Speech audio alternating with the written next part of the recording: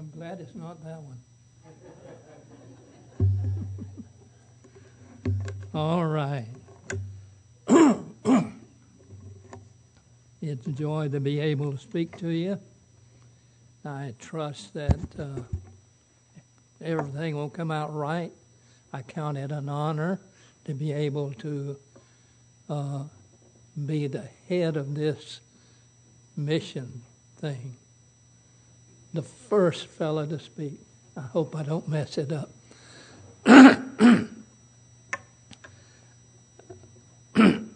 Excuse me. I thought I left those AMs at the house, but I guess I didn't. All right. In Ezekiel chapter 22 and verse 30.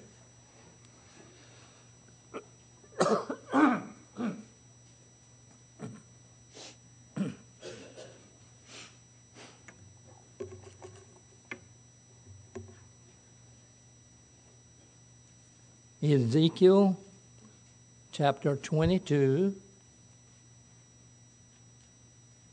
verse 30. Now, would you stand and let's read it together? Verse 30. All right? And I sought for a man among them that should make up the hedge and stand in the gap before me for the land, that I should not destroy it. But, but, I didn't find any. And I'll just read 31. Therefore have I poured out mine indignation upon them, I have consumed them with the fire of my wrath. Their own way have I recompensed upon their heads, saith the Lord God. That's the reasons for looking. Our Father, we bow before you knowing we're unworthy, but blessed be God, the blood of Jesus Christ has made us worthy. We thank you for the privilege of speaking, and we pray that you'll bless us. Give me words to say, and may the Holy Spirit of God permeate our service this morning and speak to every single heart. I ask it in Jesus' precious name. Amen. You may be seated, and you'll excuse me. Thank you, ma'am.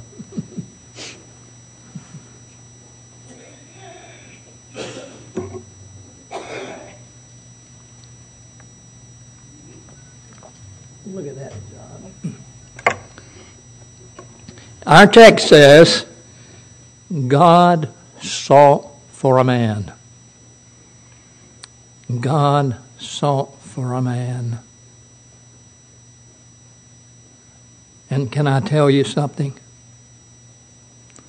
God in 2011 is still seeking for men.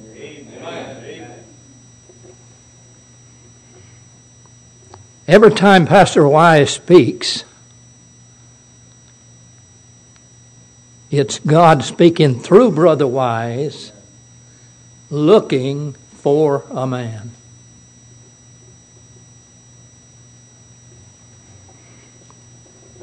In the case of our text, God was speaking through Ezekiel.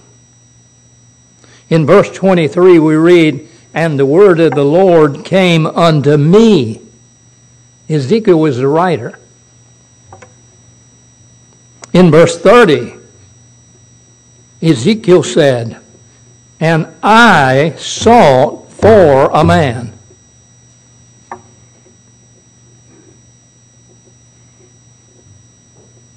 He is speaking for God when he says he was looking for a man. And can I tell you something else? God Almighty is looking for men this morning and looking for men tonight and Monday night and Tuesday night and so on.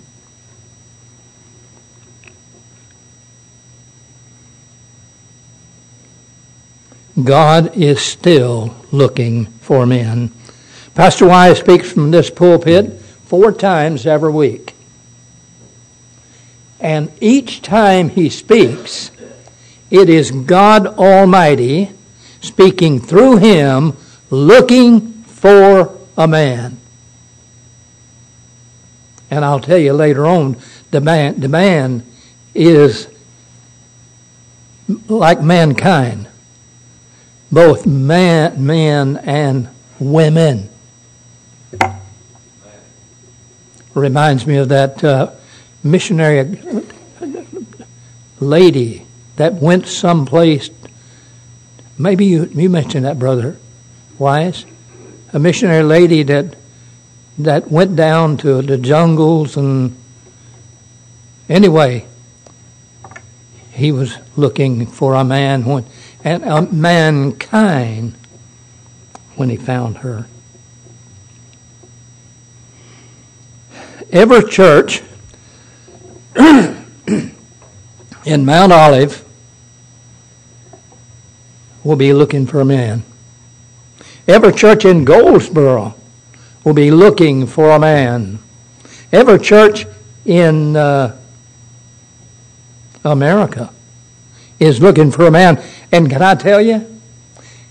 Every church that the missionary is speaking at uh, uh, this morning or whenever, he is looking for a man.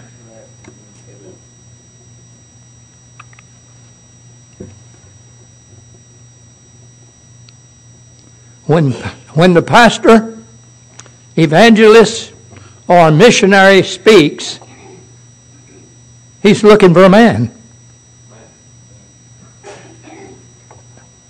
I was looking for a man in Russia to take our place. And it wasn't Brother Huckabee. He was he, he, he got the boot too.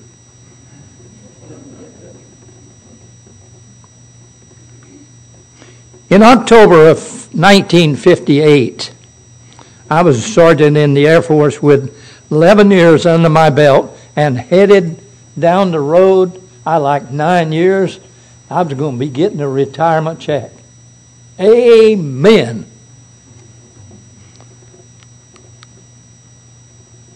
But God was looking for a man. At the time I was married and had two children, and Mrs. Worley and I had nothing to do on the weekend.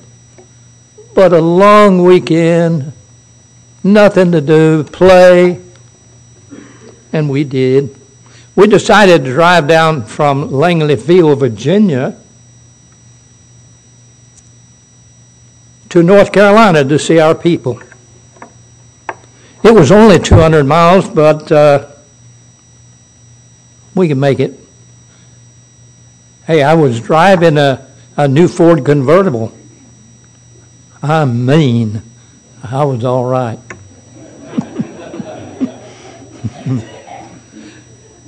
but we went went out here to Princeton, where my folks live. and I was sitting in a long back rocking chair, just rocking away. I didn't realize it at the time, but I was speedily rocking my way to hell. But mom said, and you pay attention to this, ladies. Mom said, Worth, you need to get right with God. A little old country lady saying that to me, and I was a tech sergeant in the Air Force.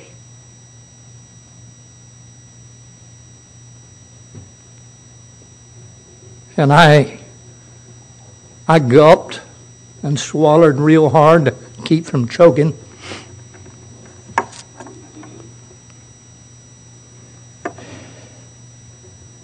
And then I said, I am to, Mom. Very meekly I said, I aim to.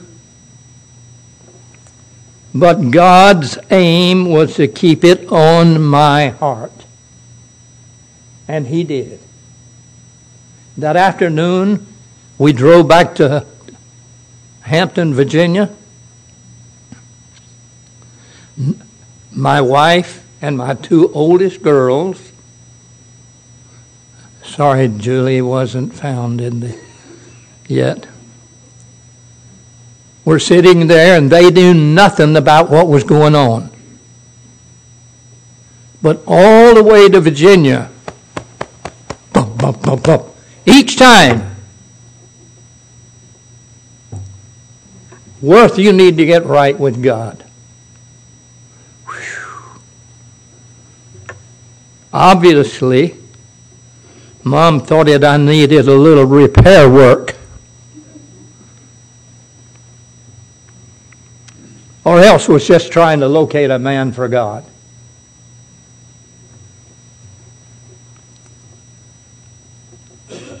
I swallowed a little bit more, shaking a little, keep from choking. I was trying to look as cool as I could under the circumstances. And I said, I intend to do that. Well, God was sure that I wasn't going to forget that. Every mile we went, mile after mile, I thought about one thing. You need to get right with God. Woo. When I got back to the base, I immediately called up another sergeant that worked with me at the at the base and base operations. I said, Hey, Lewis, I- will go to church with you Sunday. Oh, Lewis said, Fine, that's great. Said, I'll be by and pick you up. No. I'll go myself. And Lewis, being an older Christian, and I mean older. He said, No, you won't neither. He knew I'd lied to him once before.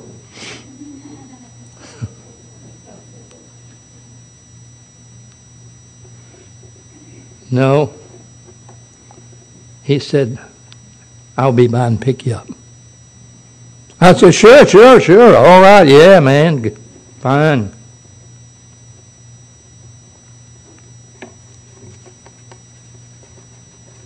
See, when he invited me to church,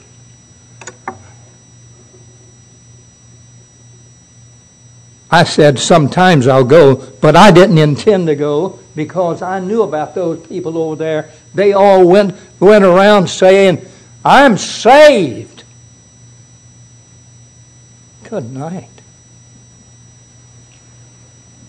And I'm sure I'm going to heaven. And I wasn't about to go over there. But Sunday morning came. I loaded in his car with my wife and two children. And we headed to church. And the preacher said something about visitation. Well, I could understand that a little bit. But then he mentioned tithing. I didn't know how to spell it.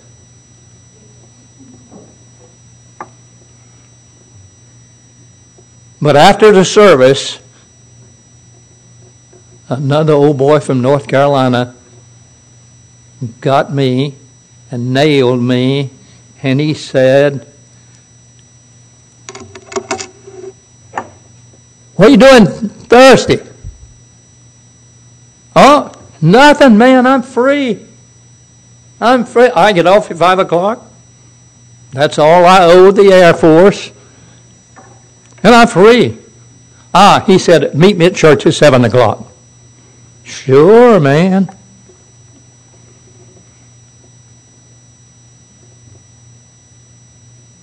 So I met him at church at 7 o'clock and I, still, I, I didn't know, I didn't know what visitation was. I didn't know about tithing. I didn't know about anything. And so at, at 7 o'clock, at, uh, I, I met him, and, and he said, All right, let's go. And we got in our car. I said, I didn't know what we was going to do. We, for the next nine months, we went up and down the streets of Hampton, Newport News, knocking doors, and telling people about Jesus. And we won many people to Christ. Uh, well, mm, uh, mm, no, we didn't win people to Christ, but I've watched Buck Morris as he led them to Christ over and over again. So, he won people to Christ. But God laid a, bur- laid a burden on my heart about soul winning back in the early days, and He kept it on there. And it seems like God had said, I've found a man. It seemed like every message Brother Hall preached, it was about soul winning. And I need a man.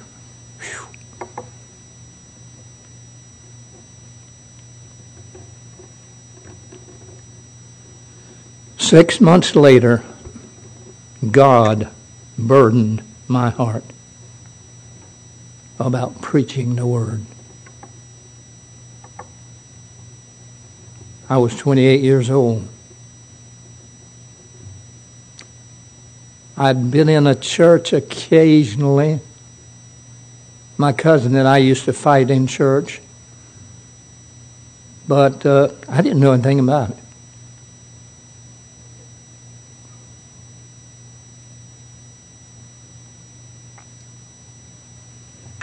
But God was looking for a man. One night it seemed like God said to me, and why would God speak to me?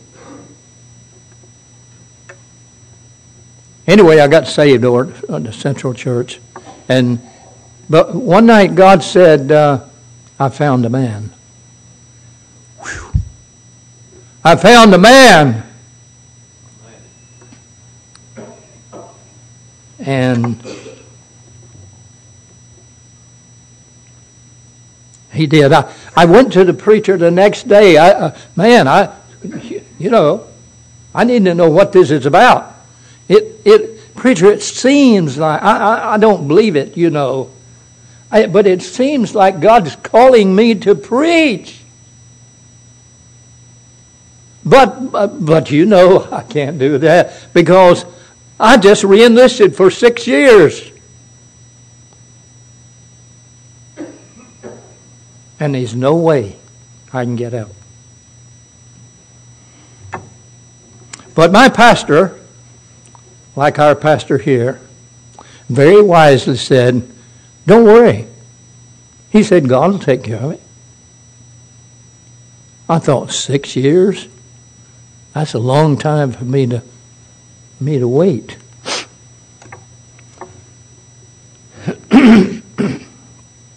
But in September of that year, I had an honorable discharge in my hand.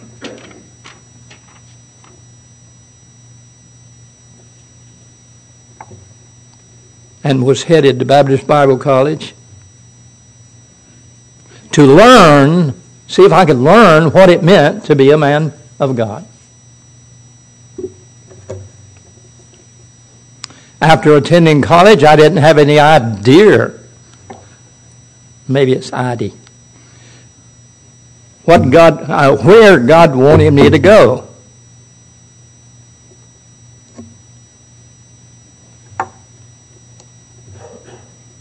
So I pulled my mobile home back from Missouri, parked it in my dad's front yard.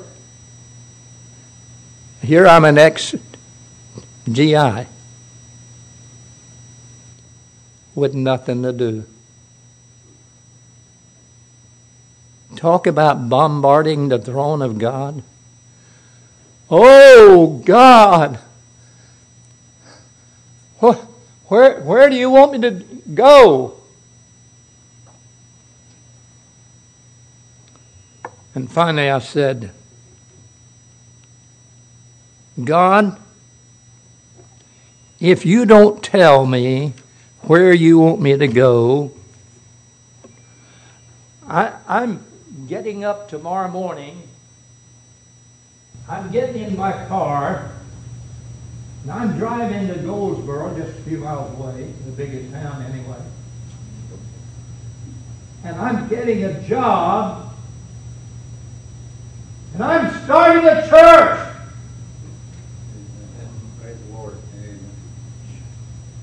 Wow, that was a big statement for me. God. But so we, September the 1st came. And I prayed. And wouldn't it be wonderful to say God spoke from heaven? Yeah, it would be. But God was silent. Whew, man. It seemed like God had gone on a vacation. I don't think He does, though.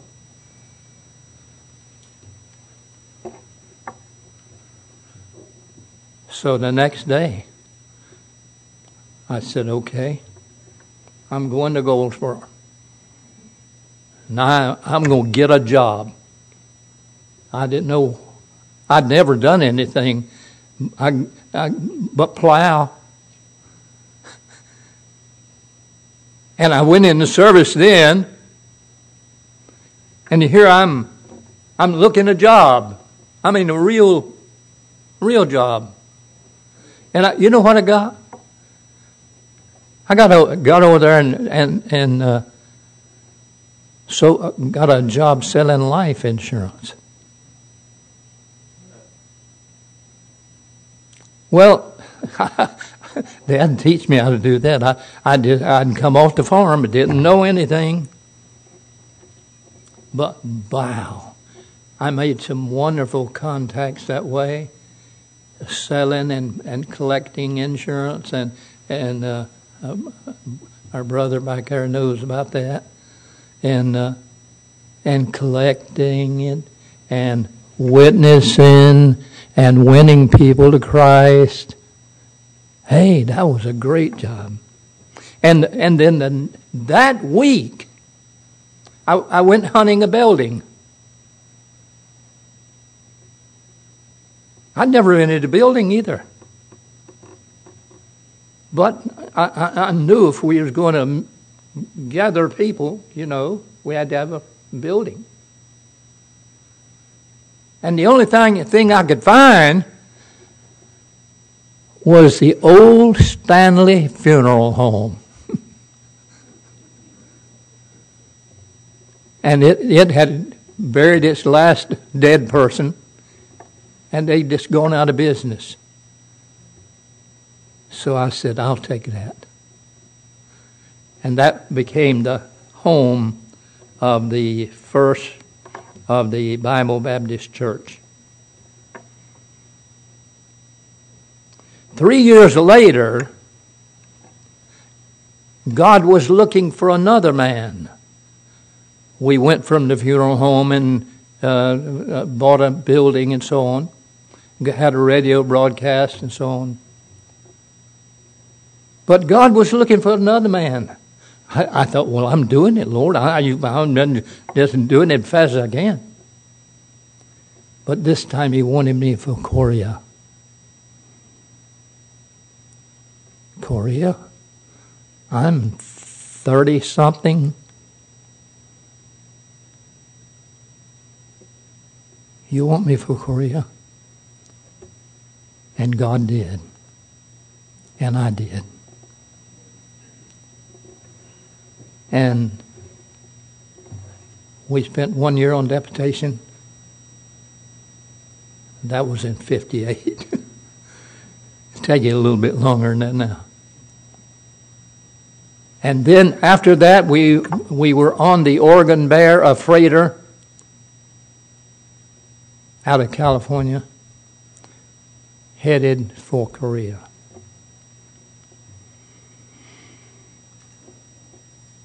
Sixteen years after that, I found that God wasn't satisfied. He burdened my heart for another place. So, my wife and I headed for Singapore. And I got there and spent a few days, and I thought, man, this is wonderful. Ooh, I mean, Singapore. I, I started wishing I'd have gone there first, but anyway. Anyway, after 11 years in Singapore, God was looking for another man and his wife. So I left the church with Brother Ray Crocker. And then Brother Huckabee and I, we took off for Russia. Of course, we'd made some trips. We went to uh, preach the gospel in, in some islands uh, uh, of Indonesia and in Malaysia. And, uh, we went over to Vietnam and and and Cambodia, wasn't it? Yeah. But then God called me to Russia, and uh,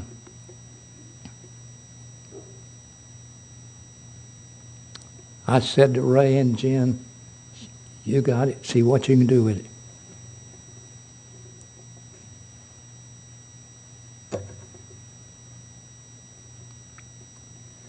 We stayed in Russia for 10 years. I, I think we had a minimum of problems. I think the, the folks were very anxious to hear the gospel. But the people in the, what do you call the offices? Samashil. Anyway, people in the offices weren't too awfully friendly. And so finally, one day we got the communist boot. I mean, the, the, the, the ordinary people welcomed us. I remember climbing the, climbing the steps about four or five flights, knocked on a door, went in, won the lady to Christ. And that guy said to me, No, I'm not interested. You come over here, young man. Reached in the cabinet and pulled out, said, You see this? I'm a member of the Party. Okay. But later, that man trusted Christ as his Savior.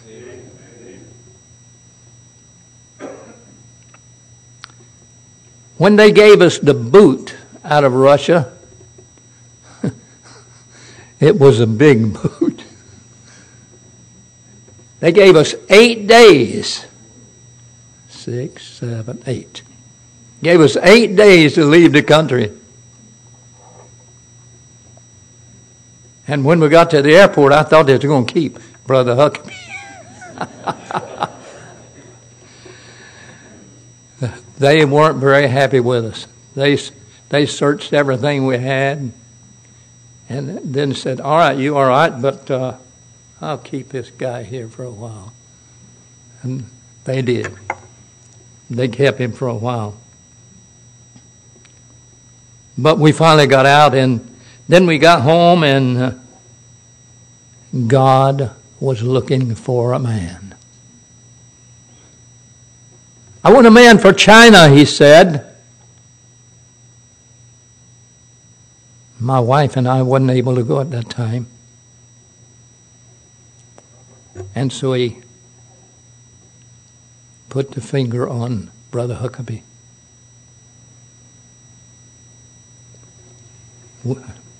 My wife got was sick, and so we just weren't able to, to do anything.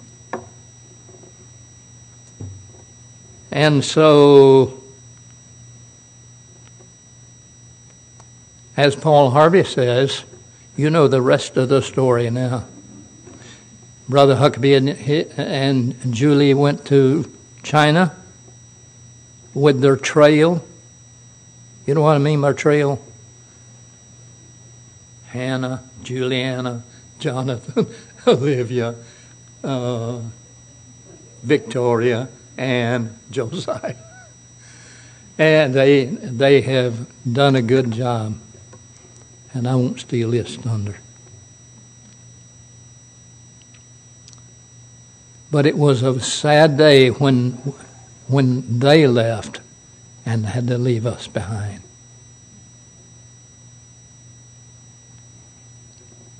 But my wife was sick, has been sick for five years, and nobody, that means nobody, Mayo Clinic and so on, has been able to, to put their finger on anything that's wrong. But God. Amen. God is able. And I'm, I'm still looking. I'm still praying every, every, every day. Lord, when we get up Sunday morning, would you let her go to church? And I'd appreciate you joining me in that. Now, let me tell you something else. God is still looking for a man and or a woman. Almost every time, almost every pastor, rather, must have a helper.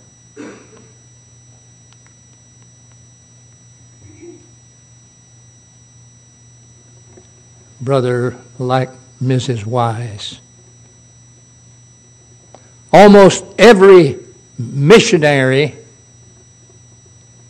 must have a wife like Julie.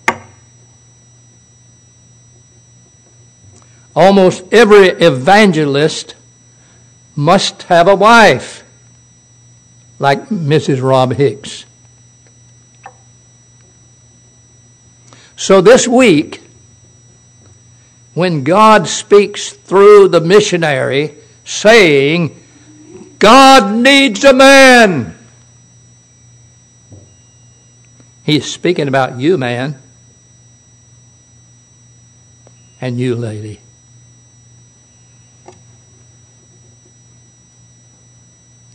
So, my question to you this morning is Will you be the man? Let's bow our heads in prayer. Our Father, we thank Thee from the depth of our soul that some man reached out years ago with God's finger and said, I want you, and I want you, and I want you, and I want you. And God is still calling out men to preach the word. Either here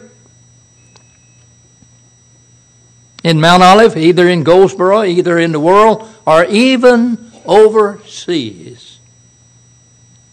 God is looking for a man. Will you be that man? Will you examine yourself this week and say, God, I'm a man or I'm a woman. I, I, I don't know. But maybe you can use me.